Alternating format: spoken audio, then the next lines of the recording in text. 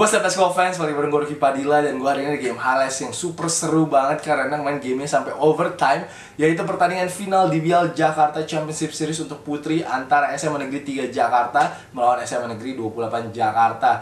First of all, salut banget untuk kedua tim ini cewek-cewek ini kemarin tuh bermain luar biasa dua-duanya gak ada yang mau ngalah dua-duanya ngotot fighting spiritnya dua-duanya juga keren banget. So hopefully video kali ini bakal menginspirasi banyak pemain putri lainnya untuk bermain basket karena uh, game ini salah satu game terbaik uh, di BL, yang pernah gue nonton sih.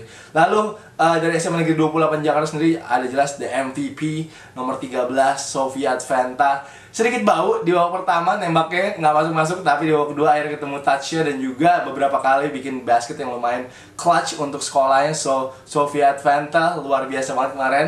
And nomor 4 nya juga jago ya jersey nomor 4 namanya Sabrina kemarin. Dia juga banyak banget uh, nge-score di saat-saat yang genting. So uh, luar biasa untuk SMA Negeri 28 Jakarta. Lalu di SMA Negeri 3 Jakarta ada pemain dengan jersey nomor 10 salam hormat untuk Zevanya karena menurut gue main Zevanya ini sangat menginspirasi banget. Uh, dia sempat kram betisnya tapi tetap mencoba untuk bermain untuk sekolahnya. So salam hormat keren banget main Zevanya apalagi floater floaternya mirip gue kayak mainnya sering floater gitu. Tapi uh, lalu dari SMA Negeri 3 lainnya adalah uh, pemain dengan jersey nomor 9 jagoan gue yaitu Jovinka. Nah Jovinka ini kemarin juga uh, poinnya cukup banyak dan juga nembaknya bagus banget kemarin untuk SMA Negeri 3 Jakarta. Tapi kemarin juga gue harapkan sebenarnya Jovinka itu masuk first team ya tapi terpilihnya malah di second team. Tapi overall menurut gue Jovinka ini juga hal pemain salah satu pemain putri yang bagus di apa ya di basket SMA saat ini. Kalau gitu guys langsung kita ke halasi jangan lupa untuk like jangan lupa untuk komen dan jangan lupa untuk subscribe. Thank you guys for watching. Enjoy the highlights